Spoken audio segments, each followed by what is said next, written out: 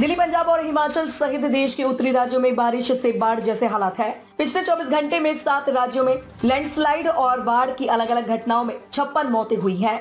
मनाली में बारिश का बावन साल का रिकॉर्ड टूटा है। हिमाचल सीएम ने लोगों से अगले 24 घंटे घर में रहने को कहा है। प्रदेश में कई नदी, नहरें खतरे के निशान से ऊपर है। दो जगह बादल फटा है। दिल्ली में यमुना नदी का वाटर लेवल खतरे के निशान के पार है। सीएम केजरीवाल ने कहा, हमारा सिस्टम ऐसी बारिश के लिए नहीं बना। इस समय सभी राज्यों को साथ मिलकर काम करना है। पीएम नरेंद्र मोदी ने बाढ़ और बारिश के हालातों को लेकर मंत्री और अधिकारियों से बात की है। पीएमओ के मुताबिक प्रशासन और एनडीआरएफ और एसडीआरएफ की टीमें रेस्क्यू में जुटी हैं। देश की कुल बारिश अब सामान्य से अधिक हो गई है।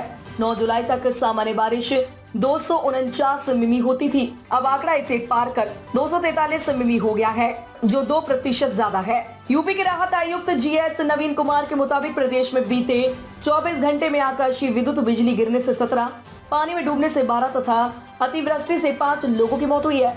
गाजियाबाद में रविवार को हुई भारी बारिश से लोनी क्षेत्र के दौलत नगर में तैतीस लोग फंस गए थे। एनडीआरएफ ने उन्हें सुरक्षित निकाला।